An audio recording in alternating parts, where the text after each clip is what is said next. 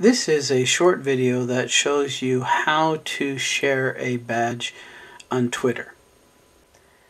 The easiest way to share your badge on Twitter is to do it from the email that you received when you were first awarded the badge.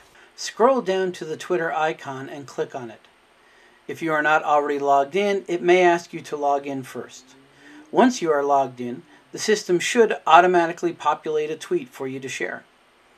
You can add more to the tweet or edit what was automatically added. When you are ready, all you have to do is click on the tweet option and your tweet will appear in your stream. The other way that you can share your badge to Twitter is from your backpack. When you are logged into your backpack, you will note over on the right hand side you have this share option. And when you click on that, the second tab over will be social. So you can just copy the URL and share that wherever you would like. Or you can click on the social option and you can see that there is the option to share it to a number of social media feeds, including Twitter.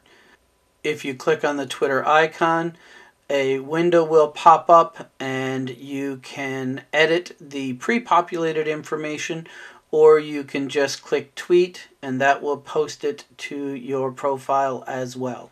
So this has been a short video demonstrating a couple of different ways in which you can share your badge on Twitter.